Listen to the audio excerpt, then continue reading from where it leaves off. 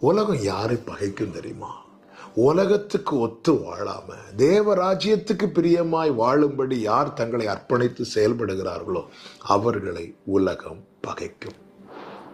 உலகத்துக்கும் உன்னதத்துக்கும் வித்தியாசம் உண்டு. இயேசு கிறிஸ்துவின் வாழ்க்கை எப்படிப்பட்டதா இருந்தது என்றால் பிதாவுக்கு பிரியமானவைகள் உலகத்துக்கு பிரியமானவைகள் என்றல்ல பிதாவுக்கு பிரியமானவைகள். அதை தான் இயேசு சொல்லுகிறார் எட்டாவது அதிகாரத்தில் பிதாவுக்கு பிரியமானவைகளை நான் எப்பொழுதும் செய்கிறபடியால். பிதாவுக்கு பிரியமானவைகளை நான் எப்பொழுதும் செய்கிறபடியால். அவர் மனசுல அவருடைய நினைவுல அவருடைய செயல்களில் எல்லாமே எது இருந்தது என்றால் பிதாவுக்கு பிரியமானவைகள். இப்படிப்பட்டவர்களால் உலகத்துக்கு ஒத்து வாழ முடியாது.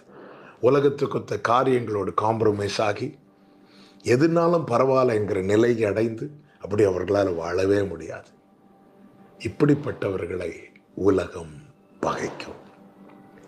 ஆனால் இயேசு சொன்னார் உலகம் உங்களை பகைத்தால் நீங்கள் ஆச்சரியப்படாதிருங்கள். உங்களை பகைப்பதற்கு முன்னமே அது என்னை பகைத்தது என்று இந்த நாளிலே தேவனுக்கு பிரியமாய் வாழ்வதனால் உலகம் சொந்தங்கள் உறவுகள் நண்பர்கள் உங்களை பகைக்கிறாங்கன்னா அது சற்று வேதனையான காரியம்தான். இல்லை என்று சொல்லவில்லை.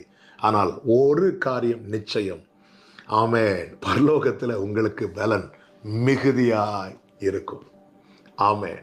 என்னதான் எத்தனை பேரை நம்ம பிரியப்படுத்தினாலும் பிரியமானவர்களை கொஞ்ச காலம் இந்த பூமியில் வாழ போகிறோம் நித்திய காலமாய் அங்கே வாழ போகிறோம்.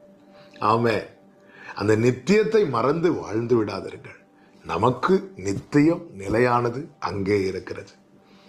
அங்கே இருக்கிறது. அப்படிப்பட்ட ஒரு பாக்கியத்தை கிறிஸ்து நமக்கு சில வேலை சம்பாதித்து தந்திருக்கிறார்.